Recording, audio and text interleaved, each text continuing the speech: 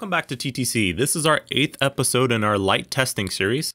We built a bargain bin light integration sphere of sorts, then sent samples out to a lab that does lumen testing professionally to calibrate our own, with some encouraging results so far. Today we take a look at work lights slash mini floodlights. Some like Snap-on call them project lights. So we'll be doing lumen tests, lumens across their runtime, brake clean testing, a nice automotive fluid concoction dunking for a good measure, and of course drop tests to see if the cream rises to the top.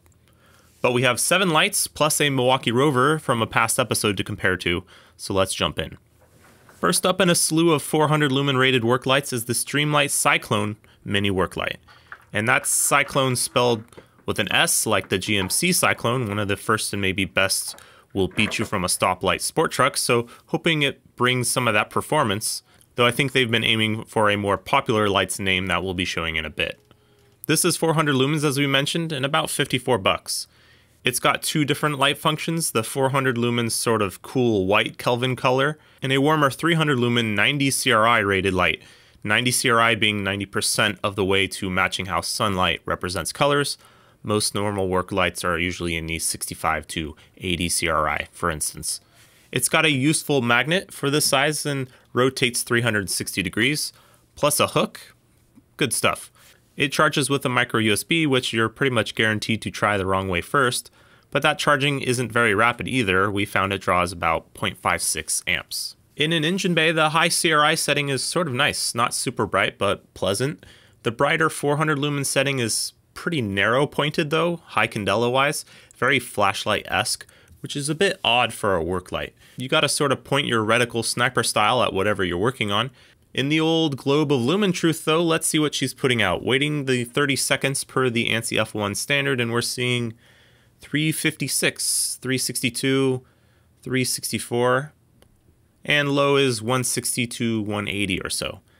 90 CRI mode is spot on at 300, maybe even 320 or so, but with the white card removed, high mode is still seeing 366 about. We'll call that 365 or 9% off of their claim. Not criminal, but also maybe a rocky start. Next up in 400 lumens again is the Olight Swivel. This is a new light from them. Well, frankly, all of the lights we're featuring today are new. If it didn't come out in the last year or two, it wasn't a model we considered for this episode. This particular one is quite affordable at just $35 though, that's bargain prices in the rechargeable game. It swivels, obviously, from the base frame and has magnets on it. It has two functions, a 200 lumen flashlight and 400 lumen floodlight that, well, it doesn't hit you over the head with, let's say, its brightness in person. It takes USB-C, which is always a plus, and has charge level lights, another plus there too. And takes about 1 amp when charging, that's pretty normal stuff. In an engine bay, this one feels very nightlight-esque, I guess. Like you can tell that it's on, but you can't really see what it's pointing at. Usually 400 lumens is enough to do the trick. The flashlight is a bit more effective though, maybe less practical as a flashlight being this shape. Let's see what the old globe thinks. It's seeing 209, 208, 211. Maybe without the card 198, 184. Oh, that's pretty low. Let's try to just fish hook this thing into there. Maybe it's due to its size. 186, 206. It's not easy to sway the sphere. That is in high. The flashlight sees 240, 242, so higher than the 200 lumens they are saying there, but that 400 lumen flood setting is just pretty weak sauce, no way around it. Our last light in the 400 lumen category is the Snap-on ABS Project Light that costs a reasonable $60, $62, which we've tested before, so we're bringing in help in the form of Snap-on's pricier option as well, the $98 aluminum 700 lumen rated ECPRA 072. These are pretty similar lights. They both got that push down and hold to dim and adjust function, which ain't bad. Both take USB-C, though the aluminum one does look a bit brighter in person and has charge level lights on the back. They both have useful magnets, but an oversight might be that the more expensive one can't rotate past being upright, while the $60 one can, and only pointing out the side is not a super useful thing at times. The light from the ABS plastic model is decent, not crazy, but can be pointed at things easier. The aluminum snap-on light is brighter and more useful in that sense, but might not point to where you need it to always. Last time we tested the 400 lumen ABS light, it made 400, and we're seeing, yeah, 401, 403, 405. Good to know we're still there. The 700 lumen model we just purchased, though, let's see that. So it's seeing quite a bit less at first, but the card was sort of overlapping a bit from the emitter. It reaches 732, 716, 728, and adjusts all the way down to 60 or 90 lumens. Then when back up, peaks to 753, 742 or so. But after those 30 seconds with that ANSI standard, it's more like 725. We're calling it 725 of its rated 700 though. That's very nice. Our next light is a bit of everything. Lumen output like the last Snap-on, 720 lumens though. A price point like the Olight, just $33 on this one. And a name like Cyclops, which looking like this tool is pretty befitting, very much like the Streamlight Syclone that I think Streamlight was probably aiming for name-wise. These Maxxeon Cyclops lights are ridiculously popular. People buy them in three packs in multiple colors. They are affordable enough to do so. They haven't updated this design much over the years, but the spec has. This is 720 lumens, 2500 milliamp hour battery version, some of their latest stuff. It's sort of simple stupid design-wise in a good way plus charge level lights and USB-C that only charges at 0.65 amps or so, but just the low, medium, high button off, easy stuff. And in engine bay, it's bright, like decently bright, but not crazy. Very adequate, but not like a laser light show either. Let's see those 720 lumens. So it looks like we're finding 590, 588, 587, 580, calling that 585. Low is 130 to 140, medium is 300, and high again 582, 585. That's 19% down. Seemed like specific enough of a figure to be accurate, but down to 585 might be something you'd notice outside of a lab too. Moving up in lumens, price, and complexity, now we have the Astro 100 SL, which this one's main party trick is being able to be wirelessly rechargeable their second light to use this pad after their folding 52SL one. But it can be charged with the included USB-C and wall adapter as well at 2 amps, which I believe qualifies as fast charging. It's 1000 lumens, which unsurprisingly, yeah, looks bright. It has a push and hold to dim like the Snap-on, but is a bit chunkier than the Snap-on, partly I'm sure due to that 21700 cell battery inside. That's 4500 milliamp hours in capacity. It has a fold out base frame deal with a magnet. In an engine bay, 1000 lumens, especially anywhere situated close to what you're looking at, is yeah, that's bright. If you point it at sort of half of an engine bay, its intensity is sort of like a 2000 lumen underhood light. But I'm human and of course capable of bias, so let's see what the sphere says. So it's reading 996, 991, 990, 989, and holding steady. We'll call that 990 lumens. Then low is about 80 to 90 lumens, pretty in ratio with the 100 to 1000 lumens it advertises. Okay, so last up, well, technically because we'll be comparing these to the Milwaukee Rover at the end, we've tested that as well.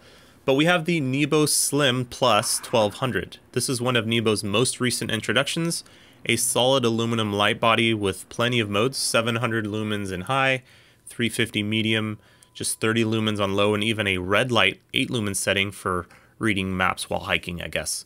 Then, of course, holding down for turbo, which should be good for a monstrous 1200 lumens, and it looks it. Seriously bright stuff. Though with this size, you're getting a lithium polymer battery, a 1500 milliamp hour one, so curious how long it's really going to last when it's stepping up and down from 1200 and 700 lumens. It charges with USB-C at 0.8 amps, which is pretty normal, has magnets on the rear belt clip and base for work light use, and even has a cool little laser pointer function.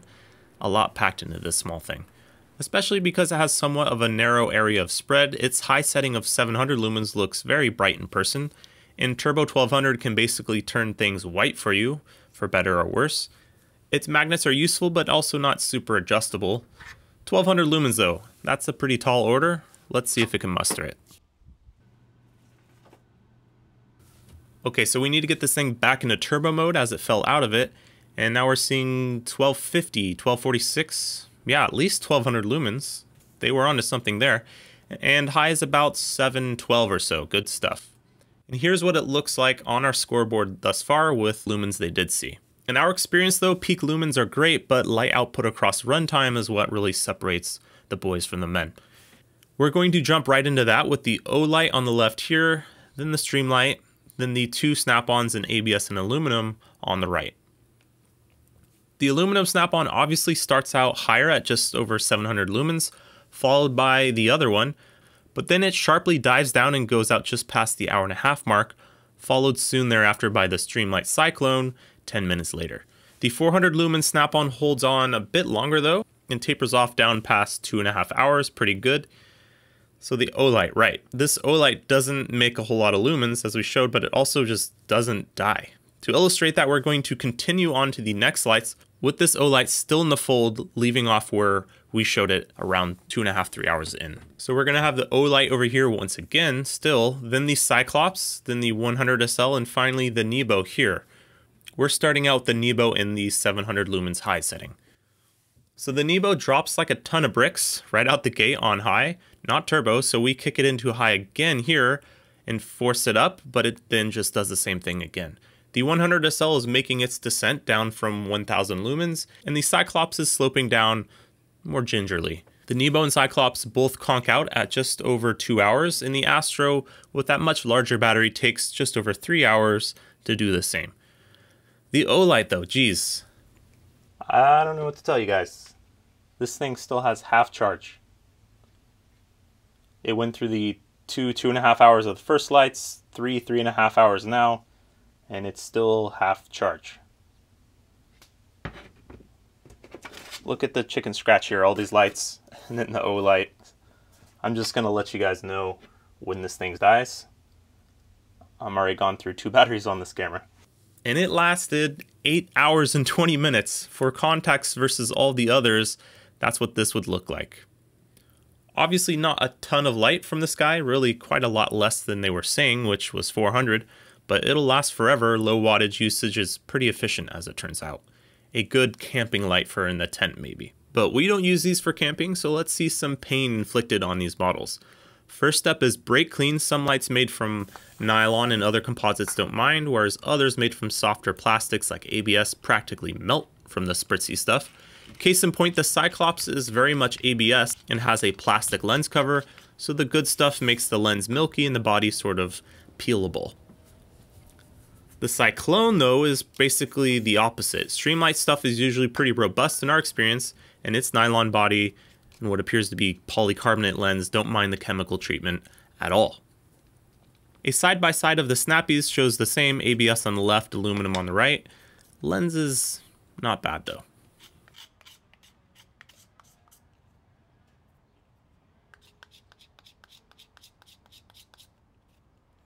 The Olight texture-wise felt like nylon to me, but had a bad day with this one, scrapable and once dried, check out the damage. Doesn't enjoy the stuff. The 100 SL does pretty well being made of nylon, lens not too bad either, but these rubber pieces do get a bit soft and smudgy, not sure the purpose of them actually. The Nebo is basically untouched, aluminum and glass lens, nothing to really inflict on that. A common early death for lights around here is when they get dropped in coolant or oil, so let's mix up a slurry of that coolant, plus a little gas and oil two-stroke mix for a good measure, then make a sort of witch's brew of bad idea soup and plop them all in. Since you're likely going to at least attempt a Coast Guard style aerial rescue of your light once it drops in the drink, I think that a bath in this mixture for a long length is somewhat unrealistic. So I'm going to drop them in, then let them dry, and then drop them in again twice a day for a week. that crusty coolant crud once they dry out that tends to kill them in my experience, not always dead right out of the drink. The first one to succumb to this sort of brutality is the Streamlight after two dunks. It doesn't mind chemicals on the outside, but also doesn't like being submerged in them. The Cyclops was next, four days and seven dunks, its charge lights are stuck on now for some reason, even when it's not charging. It works still, but will no longer charge once plugged in. And last we have, yes, only three lights died from this testing.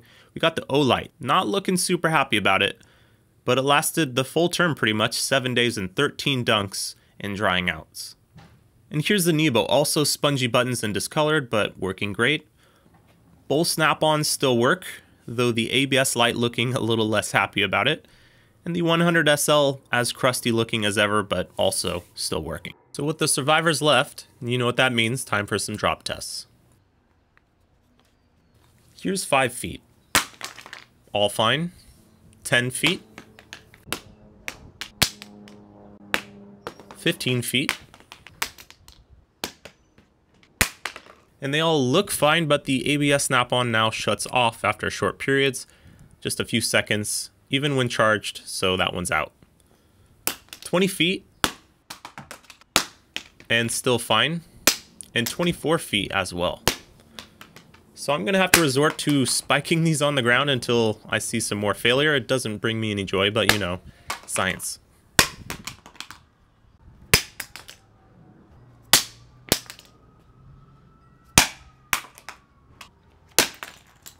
And that was enough for the aluminum snap-on to become an octopus light. Still works amazingly, but the front composite cover and hardware mounts broke off of the aluminum body. The last two I'm just going to give a tie to. The Nebo I was able to get the belt clip that has one of the magnets to break off, but that can be seen as superficial somewhat and still works.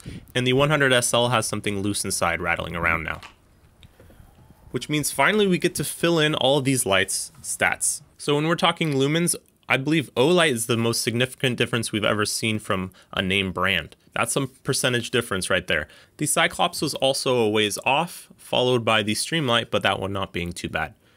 We also have runtime over here and battery size that sort of goes hand in hand with that. The Olight is ridiculous. Maybe grow some indoor plants with that one. Then this here is what we call lumen minutes, how much sort of light total output these lights were able to deliver, totaled across their runtime measured at 20 minute intervals. The Streamlight didn't perform like we're used to seeing on here, followed by the Nebo, partly because we kicked that one up back to high and then it dropped off quickly. Both of these having small batteries makes sense, they're at the bottom here. Then we have the ABS Snap-on, Cyclops, Aluminum Snap-on, Olight, and the 100SL. The 100 SL, like, yeah, that checks out. It has the largest battery, but the Olight must just be super efficient under driving that cob LED all day long. Charge time is a huge spread as well. We touched on their charging rates with amps, but here you can see that on full display. The lowest has the smallest battery, followed by the light with the largest battery due to fast charging, although that gets almost doubled when you charge it wirelessly, which we'd be doing. Then all of these take around 4 hours or more, almost 5 hours here on relatively small batteries. Pretty new models, all of these, but that sort of stuff seems like it could have used an update. And here we have the brake clean resistance and overall durability, which is fluids bath and then drop testing. The Nebo did the best overall there, followed by the 100SL. A big spread from the Streamlight up here, but the aluminum snap-on in third for sure, with the others in between. So in summary, the Streamlight couldn't find too much redeeming for it it gets lost in the crowd, at least in this crowd. The Cyclops is more light for less money there. I'd probably take the ABS snap-on over it as well. The aluminum snap-on seems better overall, but also not cheap and doesn't last very long on a charge despite having a larger battery. But among these, I'd say either the Cyclops or really a Milwaukee Rover, if you'll excuse us growing this list for a moment, if we borrow our data from episode 3 here. Not exactly super close in lumens here either, but it does last a decent amount of time, charges very fast, and in drop testing as a tank, its light is also super crisp too. It's enjoyable to use. Then of the remaining lights, the 100SL obviously put up some numbers across the board. As the most expensive light not from a tool truck here, it's aimed more for professionals. The Nebo is a pretty cool light, all said, held back by requiring a small battery for its size and won't stay in turbo mode or high mode super long, but as a small, incredibly durable project light for short-ish periods of time, it's a light that feels at least as valuable as what it costs. That all-day Olight is an oddball, maybe camping as I mentioned earlier. With all the data we're providing here, hopefully that's enough for you to make your own informed decisions though. You don't really need us for that. Appreciate you watching, suggest more light categories and brands to go along with them below, and thanks for watching.